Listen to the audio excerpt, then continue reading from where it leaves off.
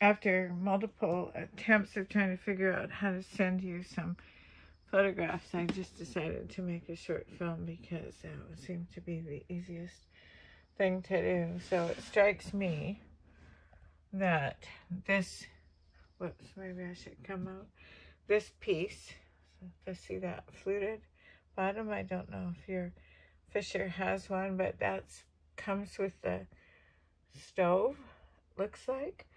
But these balls at the bottom is, is something totally different. Um, there. And they look like somebody's made them. I'm standing up here to to the other side. Somebody's, see that one? Now that's definitely not